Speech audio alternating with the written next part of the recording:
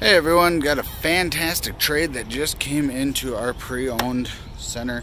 This is a treat. This is a 2003 Dyna Wide Glide 88 cubic inch 5-speed transmission. This bike is extremely clean. Windshield on her, backrest, luggage rack. Don't see these bikes come in. If they do, they definitely don't have this type of mileage. There's only 12,000 miles on this thing. This thing will not last long. Come on, take a look today.